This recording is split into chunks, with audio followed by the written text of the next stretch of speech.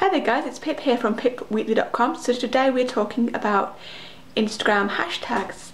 Now I didn't know this but um, Instagram can block or ban certain hashtags. Um, very very interesting. So how do you find out what the best hashtags are to use?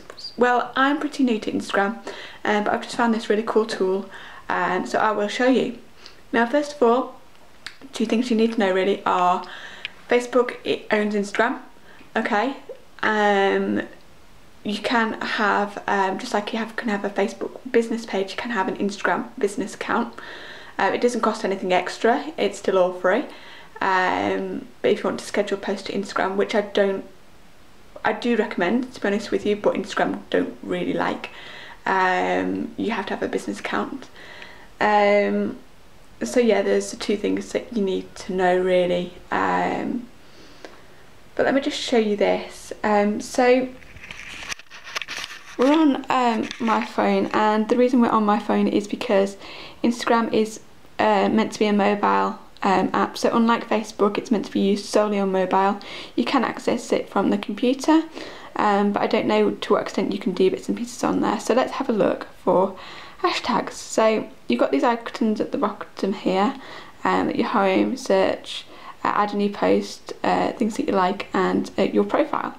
So what you do is you go on this um, icon, the um, uh, the magnifying glass, and you can search. And at the top here, it's got um, accounts, tags, places. Okay, and what you do is if you type in tags, click on tags there and um, let's search for something. So I apologise about the glare on the screen by the way guys. Let's try and get it a bit better. Um, so let's try butter. It will come up with suggestions. There we go. Butter butterfly. These are the top rated butter. There we go.